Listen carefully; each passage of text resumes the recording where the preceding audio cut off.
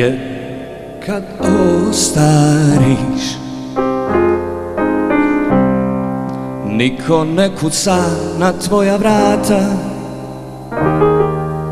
Ni potok s ribama osrebrani mladoš lijepe Vlažna oka ni jabuka u cvaru. Niko, samo ja kad ostariš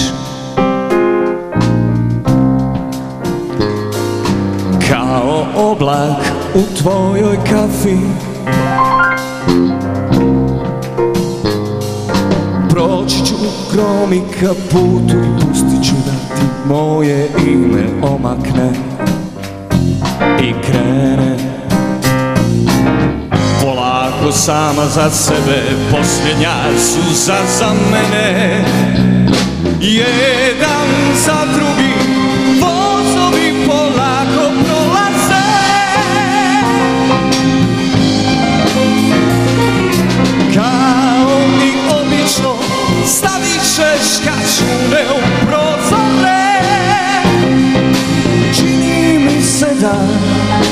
Mjesec Ramazana počinje.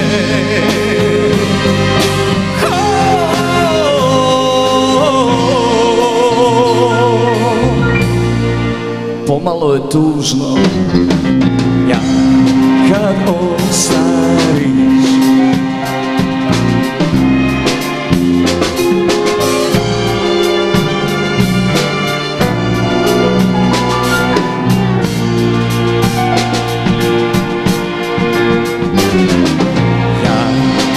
kad ostariš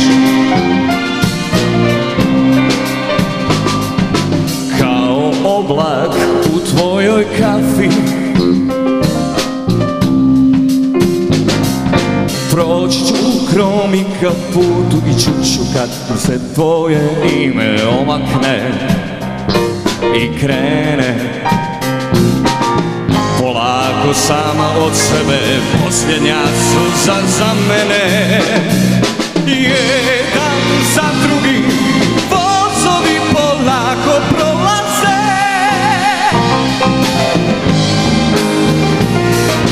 Kao i obično Stavit ćeš kačune u prozore. Čini mi se da Mjesec Ramazana počinje.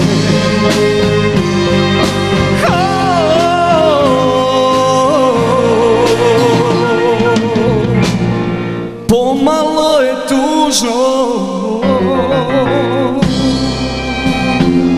Ostariš